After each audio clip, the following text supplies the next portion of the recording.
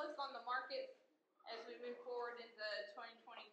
So um, I'm sure you all will, will have lots of questions for him, and, and we welcome him and, and thank him for coming up from Arkansas. Well, I, I uh, appreciate the kind introduction. Um, so yeah, we, we both started 2020. Uh, what a time to be alive as a livestock economist. Um, the, the talk I'll give today, I think, is probably a lot more optimistic than the talks that we've been giving the past couple of years with regards to uh, market outlook.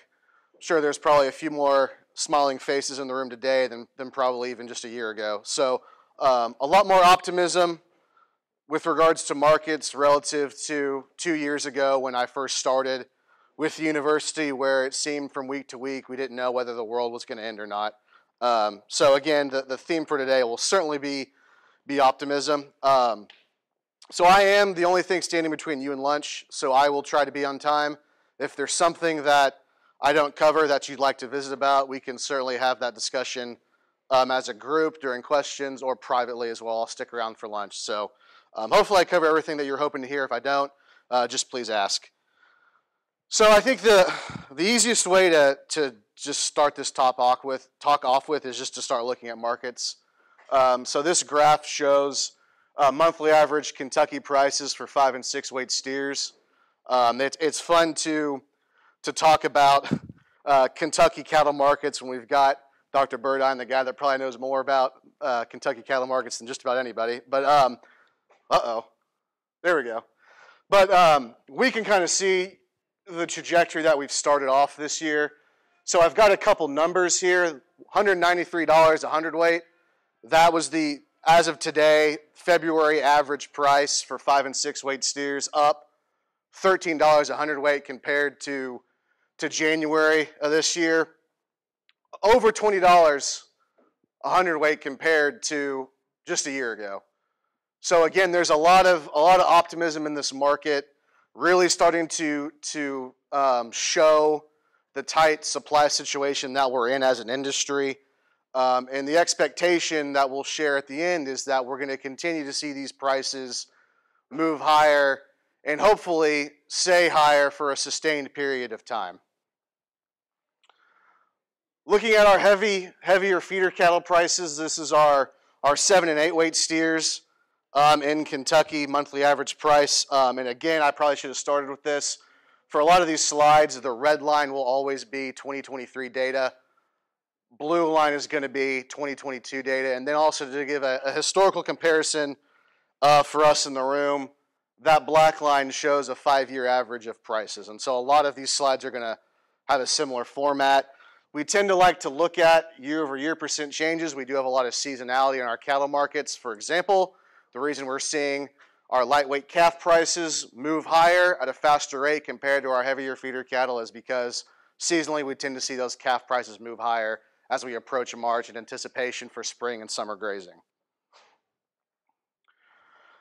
Give a bit more of a, of a regional perspective. So this is a, a, a, a chart I pulled off of an article I write uh, every week with, with Kenny. Um, just kind of give you regionally what those prices have been doing.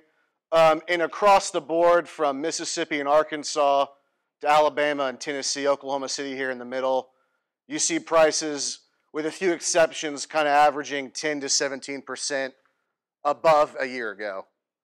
Um, on our heavier feeder cattle prices, again, across states, averaging 12 to 17% higher than a year ago. Um, prices last week uh, across the southeast generally were about flat on our heavier feeder cattle, up one, three, five percent on our lightweight calves.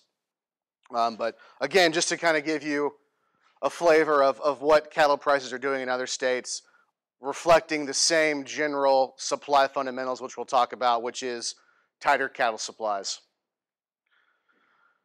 Even more of a historical perspective, let's look at, at what prices in Kentucky did uh, in 2022 compared to the past 12 or so years. Um, and so the, uh, the blue line here is our four and five weight steers in Kentucky. Red is our five and six weight steers. Green is our heavier feeder cattle, seven and eight weight steers. Um, and those those numbers that are put up were the averages uh, for 2022. Um, and so again, we're not quite at a place like we were 2013, 2014, and, and 2015, where we all remember how, how quickly the market seemed to fall out from under us. Um, but the expectation is that we're going to get to a place very similar to where we were 2013, 2014. Now, again, if we all recall what, what occurred during those, those years, I'm sure a lot of us in this room probably have some scars from how quickly prices seemed to fall in 2015. It seemed like prices were so strong during that time, everyone and their best friend was selling bred heifers. We expanded rather quickly, and prices declined as such. Um, my expectation for where we are in the current cattle cycle, um, for, for where drought is and, and, and was, um, I think we're going to see prices in a very similar range as 2013, 2014, but I think that we're going to see those prices remain higher and, and be sustained at a pretty high level for a longer period of time. Um, I don't think we've got the replacement heifers to, to build back as quickly as we did 2013, 2014. Um, and for a lot of our big cow states, they still don't even have the grass to expand if they wanted to. So we're going to see prices very similar to 2013, 2014, and they're going to stay there a little longer as well. Now, if you'd asked me my opinion on that a year ago, I would have been more hesitant to be as bold as to say we're going to see something similar to 2013, 2014. But with the data that we have on hand, it, it's pretty clear that's the situation that we're going to find ourselves in as an industry. Higher cattle prices across the board. The main factor driving that, the single biggest, you know, the engine that moves the entire industry is the cattle cycle. And so uh, every January, USDA puts out their January cattle inventory report. I'm sure there's several of you in this room that have probably got a call from USDA to answer a survey from them. Uh, we certainly appreciate your time doing that, but, but what USDA does every January is they estimate cattle numbers for every class of cattle you can think of, um, both nationally and for each state. These first two columns, these are our national numbers. This is the percent change in our national numbers compared to our January 2022 inventory numbers. Arkansas, for comparison, this my home state, and then these last two columns show our, our Kentucky numbers. Um, nationally, inventories totaling 89.274 million head, down 3% compared to inventories a year ago. If we want to understand long term where beef production is headed, the three most important rows to look at, I realize this is a busy table. Beef cows on hand, beef replacement heifers, and then our calf crop. Nationally, beef cow numbers down 3.6% to a total of 28.912 million beef cows, lowest beef cow total since the 60s. Um, we'll give more historical comparison in a moment. Um, if you ask mo most analysts about this number, pre-report, um, including myself, we were probably thinking that number was going to be closer to a 4 to 4.2 to a 4.5% decline in beef cow numbers. So one thing that USDA does that makes this really tricky to try and forecast as an analyst is in addition to putting out the January 2023 numbers, they also will go in and they'll revise the 2022 numbers. And that's what they did. So they put out the total beef cow estimate for 2023 and they lowered their estimate for the number of beef cows we had January 2022. So as an analyst, what USDA is doing is they're moving the dartboard as you're trying to forecast prices, which makes it a little trickier.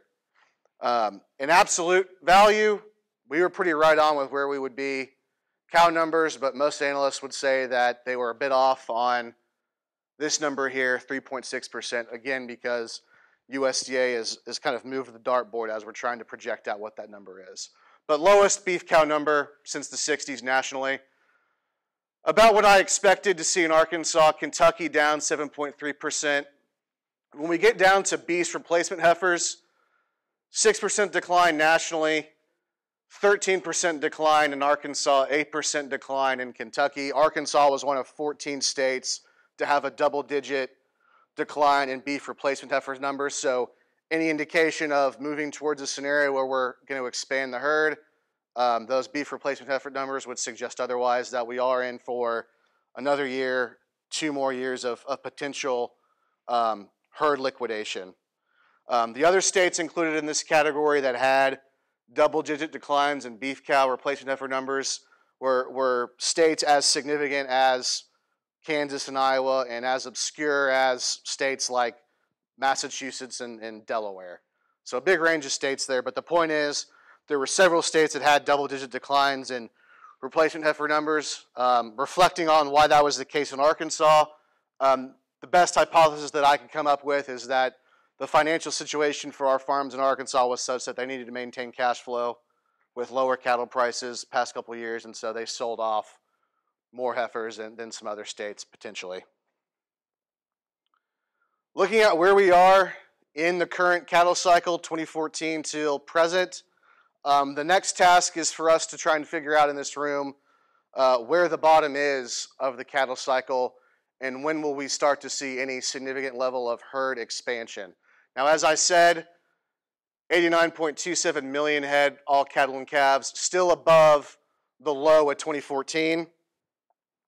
Um, and the expectation again is that this is not the bottom. We're going to have another year of decline. It's going to take us until 2025 until we see herd expansion on a, on a national level. That doesn't mean there aren't people in this room even that, that will have the grass and will have the, the prices and profitability to expand. This is just saying nationally, we don't have the replacement heifers to, to do anything significant in terms of herd expansion. Even more of a historical comparison, looking at where we are today relative to the past five cattle cycles. So this is that inventory number going all the way back to 1967. So the past five cattle cycles, you can see those periods of expansion, liquidation, expansion, liquidation, all driven by profitability and the availability of forage. Couple things to notice about these numbers that I think are worth mentioning. First, this table breaks out how long each cattle cycle was. So the 1967 to 79 cattle cycle lasted 13 years. The 1979 to 1990 cattle cycle lasted 12 years. With the exception of 1990 to 2004, you can pick up the trend here that cattle cycles are getting shorter and the average number of head in each cycle is declining. The range, that's just the difference between the maximum number of head during a cattle cycle and the minimum number of head during a cattle cycle. Basically saying that we've got shorter cattle cycles and they are less variable in how big those jumps are and declines are in terms of expansion and liquidation. Um, I've been spending probably a couple weeks reflecting on why I think that's the case. And again, the best hypothesis I have for that is um, I think if we're talking about the 60s, it's probably pretty easy to go buy some land and go buy some cows and be in the cattle business, right? It's a lot harder to do that today with the, the capital assets we have tied up in production, the, uh, the availability of land, um, I, so I would say that's probably actually a good thing. We, we can liquidate fewer head and still get a pretty large price response from it. So less variable cattle cycles, largely reflective of the capital requirements to be in the business. But again, we can sell and liquidate fewer head and get a pretty big price response out of it relative to the 60s where you had periods of liquidation upwards of 6% which is a lot more extreme than the declines we've seen the past couple of years. That leads us into a discussion of, of beef supplies. Um, what this red line shows is federally inspected beef production on an annual basis. What this dotted line shows is cattle inventories, that number that we've been talking about. So, what do you notice? We've had cattle inventories that have been in decline since 2019 but federally inspected beef production has continued to move higher. 2022 was a record for beef production. We have never produced more beef in this country than we did last year. Previous record was 2021. So we're setting records on beef production, but we've got cattle inventories that have been in decline since 2019. If you look at calf crop numbers, those have actually been in decline since 2018. So clearly something's not lining up. Um, where we're going to be this year is we're going to see those numbers line up, where we're going to see a decline in beef production. But if you think about why these two numbers have not really lined up, again, it goes back to the, the story of drought. What this table shows us is 2022 cattle slaughter by class and 2021 slaughter by class of animal, and then the year over year percent change in those numbers. So last year we saw a 2% decline in fed steer slaughter. Where did we see gains on slaughter? On replacement or on heifers that were probably should have been replacements if we had the grass to do so, and then beef cows. Heifer slaughter up 5%, beef cow slaughter up 11%. So basically what happens is in the near term, when we're in a phase of liquidation, we're selling more cows that are going to beef production, we're selling more heifers that probably would have normally been on our farms. And so in the short term, that will boost beef production. And that's what we've seen the past couple of years. We've been in decline for so long, though, that we are going to this year see declines in beef production. I'll show you uh, what those estimates look like in a few slides.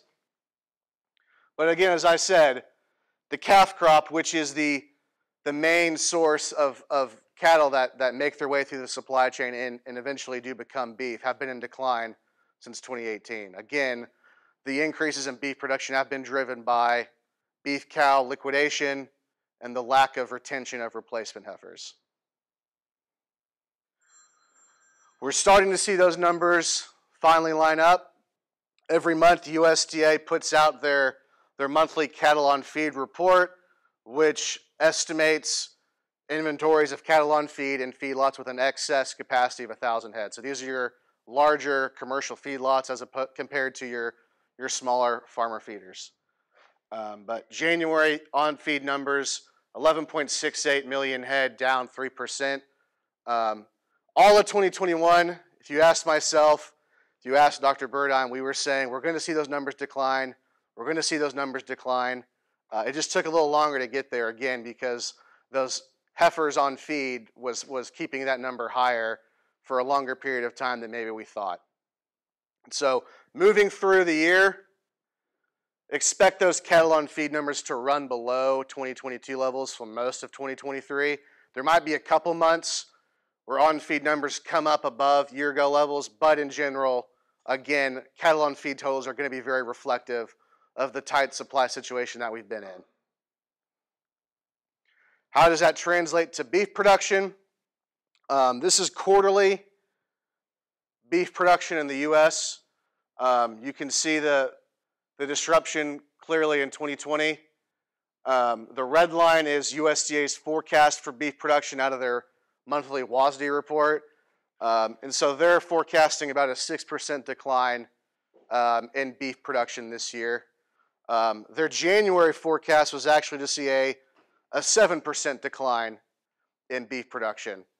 So they've actually raised their estimate for beef production, still a 6% decline, but again, a month ago they were expecting that to be closer to 7%. Again, that's reflective of the expectation that we're probably not done liquidating the herd.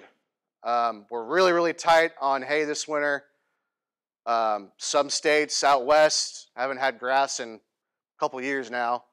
So USDA's expectation is that we might see beef production lifted slightly first part of 2023, not above 2022 levels, just not as low as we might have thought even a month ago. But the overall supply situation here is very, very bullish for cattle prices. Again, setting up a very similar scenario to where we were 2013, 2014, 2015. The other component to this that we need to monitor, probably the thing that I'm monitoring much more closely, it's very obvious where we are with supplies.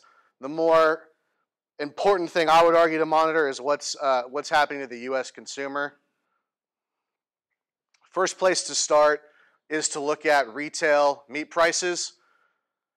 Retail choice beef is blue, retail pork is red, broiler composite price is green. These are quoted in cents per pound. And again, these aren't the, the prices of any individual cut.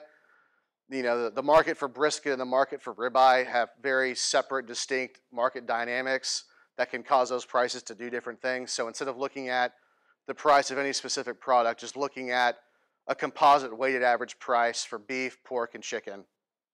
So beef most recently averaged 757 cents a pound, which is another way of saying $7.57 a pound. Um, certainly much higher than pork and, and broiler. Um, the concern that we have is that when beef is, is as high as it is on a per pound basis relative to the main competing proteins, that we're going to see some large scale substitution away from beef towards uh, pork and, and, and, chicken consumption. Um, as we know, though, that's not really the way we think when we shop. We care about what prices are doing relative to one another. So all I did in this graph was I took the price of beef and I divided it. I divided it by the price of pork and I divided it by the price of chicken to see what are beef prices doing relative to chicken prices and pork prices. When we're making decisions about consumption, we do so on a relative basis. What's the price of this relative to the price of, of this other thing? So, what this number would tell us 3.5 for September 2021, for example, for beef relative to chicken. That would say that beef prices are 3.5 times higher than chicken prices. Another way of thinking about it, that's like saying one pound of beef is worth 3.5 pounds of chicken. This blue line, that means that beef prices are 1.5 times higher than pork prices, or one pound of beef is worth 1.5 pounds of pork. Now, what do you notice about this blue line? It's been relatively stable, right? Um, if that number is moving up or down a lot, that is when you would start to think, there's probably some substitution going on with U.S. consumers. As that red line has come down, beef has actually become more price competitive relative to chicken. So again, we have high meat prices across the board. What matters is what those prices are doing relative to one another. Beef and pork has remained relatively stable through time, become more price competitive with chicken through time. So substitution really isn't the issue that we need to be worrying about. The other number that you will see quoted in the farm press a lot this year that will be used incorrectly is per capita beef consumption. Averaged or was 59.2 pounds per person 2022, forecasted to decline to 56.3 pounds per person in 2023. Again, you will see this number quoted a lot this year as some signal of mass erosion of beef demand. That will be incorrect. So the way this number is calculated, and I hate this, the way it's used or quoted in, in the farm press is, all they do here is they take beef in cold storage, they add production, they add imports, and they subtract exports. They divide that number by the U.S. population. Does that sound like consumption to any of you? Doesn't to me. Production is in that estimate. So if we're going to see a decline in production, we're probably going to see a decline in consumption. But that really has no bearing on beef demand in the US. What matters for us is price times quantity. Consumption can go down, but if prices go up, that can actually offset the decline. This is the amount of money that consumers are spending on beef, pork, and chicken on an annual basis. Beef is clearly still the protein that US consumers spend the most money on. That's money to our industry relative to money to the pork industry or the chicken industry. Down slightly to $449 a person, still the second highest beef expenditure going back to 86. Um, we've seen some small declines in beef demand, but again, the point is nowhere near as severe is what people that use this number as an indicator would suggest. Just to be aware of that, this will be quoted a lot this year. And again, it's not a sign of some mass erosion of U.S. beef demand. There are a couple concerns. I could put every single person asleep in this room if I talked about inflation for 10 minutes. I won't do that. I'll do that for about a minute. Um, so this red line is growth in average hourly wages. This blue line is inflation on an annual basis measured by the consumer price index. When that red line is above the blue line, we see an increase in the standard of living for US consumers. When that blue line is above the red line, we see a decrease in the standard of living for US consumers. Currently, inflation is sitting at 6.4%. I'll do it next time. Um, thank you. Wage growth is at 4.7%.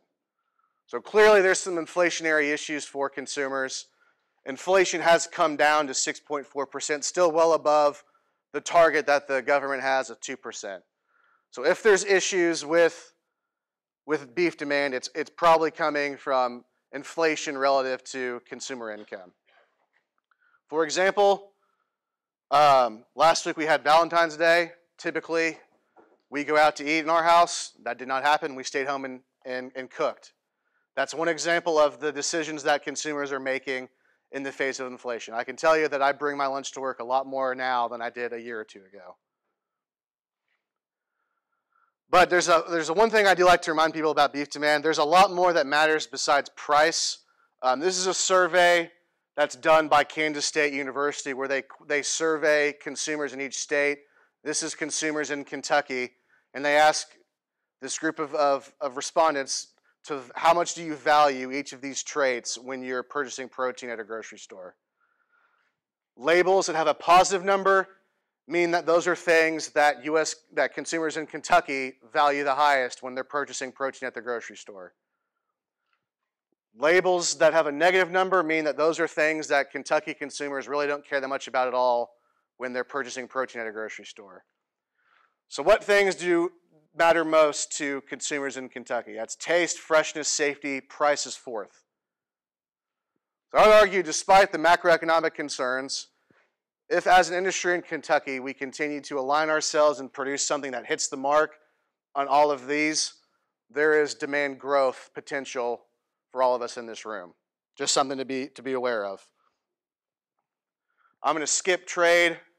We can go back to it if we need to. I, again, want to keep us on time. Finishing up with a price and profitability outlook. This is what the, the futures market closed out on Friday. Um, so, again, these prices are a couple days old. That's not really the point of this. The point of this is in what direction is that line trending from month to month? So, this is the the closing price on the March contract, the April contract, all the way out to the October 2023 futures contract. That line is, is sloping upward, right? That's not always the case. Um, so that market is pricing in those expectations of tight supplies this fall. This also shows us that there is a lot of value of gain potential for those that have grass this spring and this summer as stocker operations. That's reflective of the feedlot situation. This is feedlot data out of Kansas, which calculates out their feeding cost to gain, averaged a little over $135 per hundredweight feeding cost to gain. If you calculate out implied value of gain on our cattle markets in Kentucky or Arkansas, for example, value of gain is going to strongly reflect feedlot cost to gain. The more expensive it is to put on pounds in a feedlot, the higher the value of gain potential is for us as stocker operations. And so that's the situation that we're going to find ourselves in, at least this spring and this summer.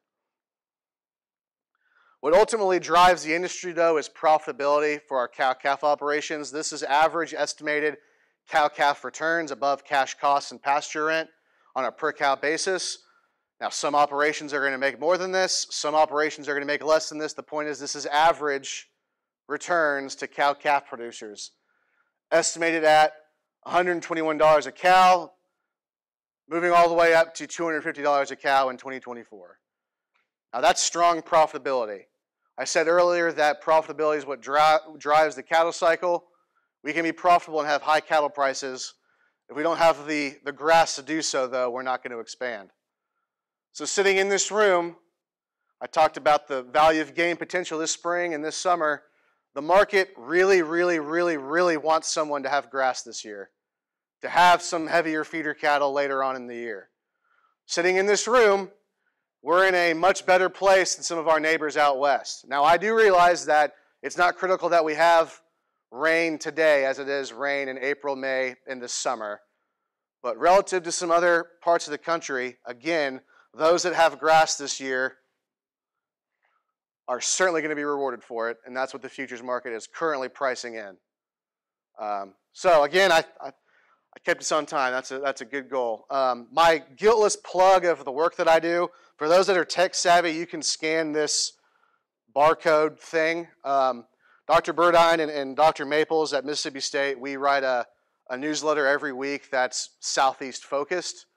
Um, the three of us realize that we don't get to see every group of producers, but probably once a year. But markets move almost daily, so this is a way for us to communicate to you on a, on a regular basis what's happening out there. Um, so if you want to scan this, you can. Um, email me, call me. Happy to sign you up myself if you're not someone who, who wants to, to scan in with their phone. So I appreciate your time. Um, we can take questions, like I said. Um, those that are just really, really hungry, I guess, can, uh, can go get lunch. But uh, happy to, to have a conversation. Uh, answer any questions that you might have. Again, I appreciate everyone's time and really appreciate the invitation. Yes, sir. What do you see as a potential source of risk between now and fall? Well, I think as we've seen uh, the past couple years, dang near anything can happen.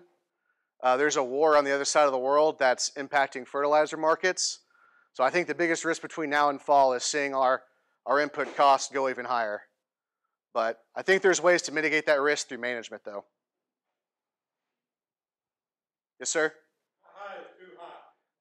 For what? 550 pounds. How high is too high?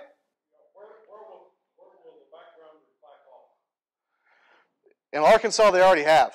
Uh, so they, they stopped buying last week in Arkansas. $210 was too high for them in Arkansas. Um, but that's that's an individual decision, and that that really matters relative to how you're going to price in um, those heavier feeder cattle. So, by for example, we're going to talk about LRP this afternoon. We've got really high calf prices. I think there's still tools out there to lock in a, a pretty favorable margin despite high calf prices. But in Arkansas, at least, past couple weeks, uh, $210 was too high for them. Sir? Yeah, um, so that's a relatively new thing. I mean, there's always been some dairy dairy steers that, that come into to production. Um, we're starting to see more and more of that, and and best that I figured, uh, those dairies are kind of treating those as two separate enterprises now. You've got your dairy operation and you got your dairy beef operation. Um, if you look at dairy steer slaughter as a percent of total slaughter, it's not enough to really move the needle on production, at least in the near term.